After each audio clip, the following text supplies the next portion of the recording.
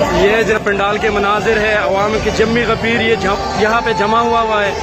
मुकम्मल भर चुका है पंडाल। आगे जो है, बाहर से भी लोग अभी आ रहे हैं, काफिले आ रहे हैं। लोग मुसलसल आ रहे हैं।